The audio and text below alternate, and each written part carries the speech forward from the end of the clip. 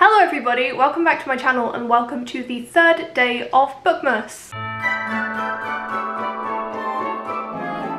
For today's video, I thought it'd be very fun to basically look back at a handful of the books that I've read this year and recommend them to you as gifts to give very, very specific people. I've actually come up with these like people prompts or whatever and they are very very specific and somewhat random. These are all books that i really enjoyed. They're mostly five star books and i just think that they would also make really good gifts. This is in no particular order. This is literally just like prompts i came up with really randomly that i thought seemed quite fitting. So let us start. The first book that i want to talk about is a book that you could give your precocious younger sibling and I have a person in mind that some of these prompts are inspired by some people I know personally. I think that my younger sister is relatively precocious and I would definitely recommend these books to her and I actually because I own all of these books I would quite like to have her read them at some point. I think it would be really sweet but this is a middle grade series and it is an older series but it is one that I started last year and finished this year and absolutely love to bits and it is the series of unfortunate events by Lemony Snicket. This series is just so much fun. I think the majority of people know what this is about. It's about the Baudelaire siblings who basically become orphaned after their parents die in a fire and then they go through a lot of they go through a long journey of, as you can imagine, very unfortunate events and they get kind of passed off from guardian to guardian who don't really know how to look after them properly and have some issues. The reason I like the idea of like a precocious child reading these books is basically because all the adults in these books are really useless and the kids are the ones that like manage to like save the day and get things done and they're all very clever and like resourceful in their own ways and I think that it is a great series to give children the feeling of like being powerful and knowing that they have the possibility to do loads of different things. So the next book that I have to recommend to you is basically a book for that cousin of yours who just can't stop staring at a video game screen. They are always like staring at their computer screen, they're always playing these games and they tend to be very violent games and you know what they say, video games kind of rot your brain so what's a better alternative to that? It's to read a book.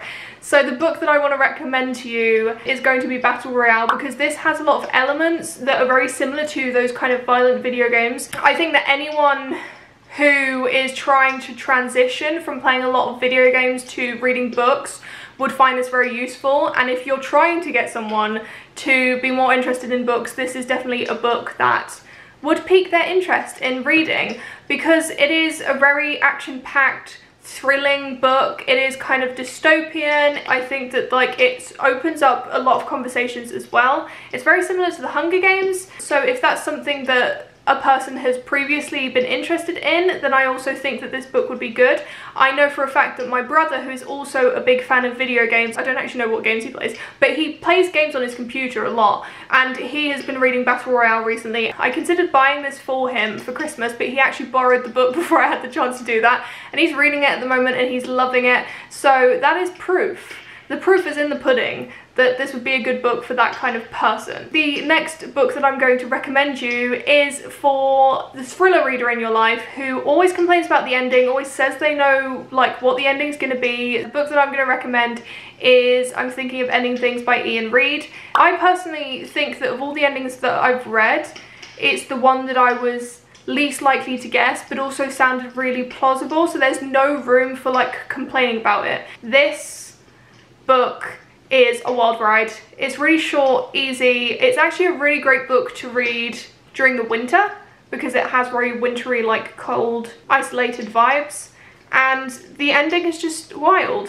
I like this next one. It may seem a bit random, but I just, I think it's kind of funny. And this next book is going to be recommended to that family member of yours who is sure to ask the most random what if questions this is inspired by my sister. My sister has a tendency to ask really random questions. That's where the idea came from and the book that I'm going to recommend is 11/22/63 by Stephen King. The reason that I think this is great for people who ask what if questions is because I feel like those people like like to question the idea of like what if things were different like what if there was an alternate reality might be a bit of a far stretch but like I I see that connection and I think that people like to question that probably would also think about like what would happen if these big events in history were different? Like what if there was an alternate history? And that's pretty much what this book runs with is the idea of like what if history was different? What would happen if you could go back in time and stop the assassination of JFK and that is the thing that this book builds off of and I found it very interesting and I'm not usually someone that reads a lot of time travel books but this has definitely got me more interested in time travel and more specifically alternate history. Okay, this, this next prompt is also a bit whack but it kind of goes with the book so it's kind of fitting just for the book. This prompt is the one person in your friend group who everyone is certain is like like they must be on something and yet they're actually the most sober person in the world. What I mean by that is someone who just, you know, seems off their rocker most of the time. Like they just seem like genuinely crazy. And the book that I would recommend to get that person is Bunny because this book is just a wild ride. It is crazy. It's indescribable basically. I think that someone whose brain is a bit like of a mush would really enjoy this. Someone that's very, very creative and for someone that is, you know, like comes up with loads of random wacky things things. So this next person is going to be the middle-aged man in your life who grew up watching martial arts movies and this prompt is solely inspired by my dad who absolutely loves that kind of thing. So this is inspired by him and that's why it's very specific to like a middle-aged man and whatever. But the book that I'm going to recommend for this is going to be Jade City by Fonda Lee. I would just recommend this book and this series in general because it's fabulous. I've only read the first two books so far, but the third book is coming out relatively soon and I can't wait to read it and, you know, get an ending to this trilogy. It's just been so much fun and it's so perfectly written. It takes a bit of brain power to get through these books, but I also personally feel like they're quite good books to transition into fantasy if you haven't read fantasy before. They're urban fantasy, which makes them, in my opinion, a little bit more grounded, a little bit more easy to work with. If you are someone that's really into like the aesthetic of like martial arts movies and if my dad ever has an inkling towards reading a book this is going to be the book that I'm going to recommend to him straight away. Everyone once in their life has come across a person and been like they are for sure born in the wrong decade. So this recommendation is going to be for someone that you know who is just so elegant and graceful and really gives you that kind of like 1950s Hollywood glamour vibes. The book I'm going to recommend for that person is going to be The Seven Husbands of Evelyn Hugo. I think that anyone that has very 1950s glamour style and like vibes would enjoy this book. I think the majority of people would enjoy this book but I think especially for someone that fits that style. I really like this next one and it's going to be for the real life gossip girl who likes a side of social commentary with their tea. This book is going to be Ace of Spades. Bloody love this book. This is like exactly as I described it. It gets described as being Gossip Girl meets like Get Out kind of vibes because it has social commentary, it brings up racism, it brings up class, but it's also super fun to read. Anyone who likes drama basically would like this book because that's what it's full of like a lot of drama. This next book is going to be a recommendation for the medieval history nerd who just needs a little bit more magic in their life. This book is going to be legendborn i bloody love this book. I would recommend it to a lot of people but i wanted to find something that kind of encompasses all the things that legendborn is. I think some of the most important things about it is the fact that it's an arthurian legend retelling and that it's got this element of magic which i really enjoyed. This is classified as a YA, but it doesn't read like too YA, but also it's written in a way that is relatively easy to read. So again, for anyone that doesn't read a lot of books, if you have not read this, I would recommend it. And if there's some someone that you think might enjoy this, definitely get it for them because it's one of those books that so many people are going to love and I haven't heard a bad thing about it. The last book that I have to recommend is going to be for that sister of yours who is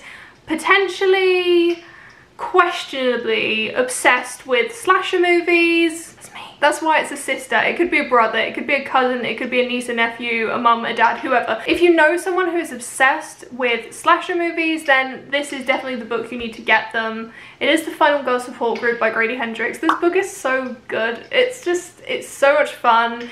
It is like, it's got all of the references that you need. It is just I bloody loved it. If it wasn't for the fact that I'd already bought this and read it, I would be asking for it for Christmas because it's so good and it's also kind of like made me be on the hunt for even more like slasher themed books. If you know someone that loves slasher movies, get them this for Christmas. They'll bloody love it. So that was the end of the video. They were the 10 really really specific and random people that I came up with for these books. I hope you enjoyed this this video like I really liked the concept of it. I thought it'd be fun for me to like kind of try and use that little tiny creative part of my brain to come up with some prompts. If you can think of any recommendations that you think would make a really great gift like any books that would make a great gift for someone this holiday season then leave that down in the comments. I hope you enjoyed this video and I will see you in my next one.